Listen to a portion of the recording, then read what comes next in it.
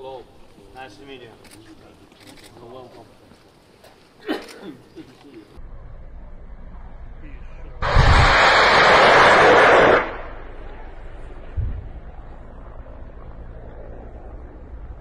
Не знаю, зачем они сюда заезжали, на что они надеялись. Но это сейчас по всей Харьковской области, которая была подвержена оккупации